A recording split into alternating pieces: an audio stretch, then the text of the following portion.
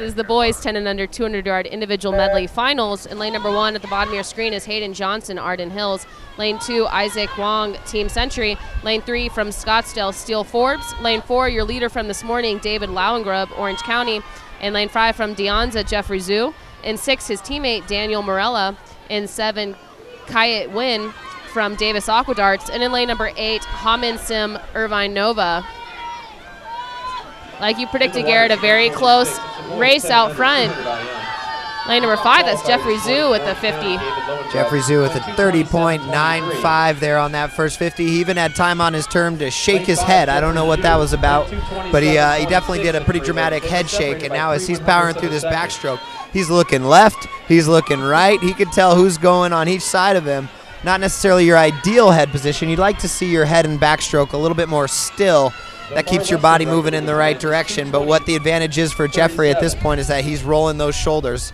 He's just rolling that head kind of along with those shoulders. It is, and sometimes it's difficult for coaches to tell their swimmers not to look. But when you have a very strong competitive edge, you want to look all you can. It it can be good and bad. You want to stay as still as you can, but when you're so competitive, it's hard to, to take your eye off the competition. Yeah, competition. you definitely don't want to uh, discourage a kid from being competitive and looking around, but you know you got to pick and choose your times. It's good to take a quick look on a wall, maybe, but if you're doing breaststroke and looking over left and right each time, you're definitely taking away from your momentum and wasting some energy.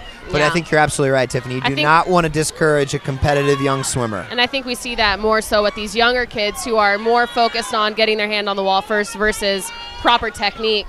But still out front in lane number five is Jeffrey Zhu from De Anza He's got a great breaststroke. coming on strong there in lane four. Your leader. That's your leader from this morning, David Lauengrub. Lane five, Jeffrey Zhu from DACA.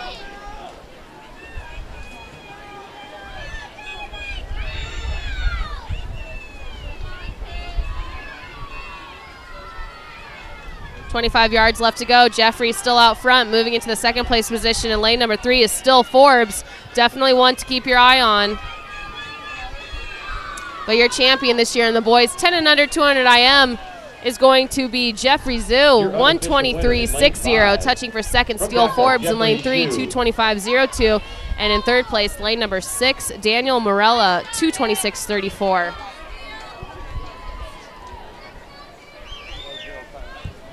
Garrett, up next is 100 Freestyle, one of the few events that we're going to see all age groups go through. We've seen all the events break up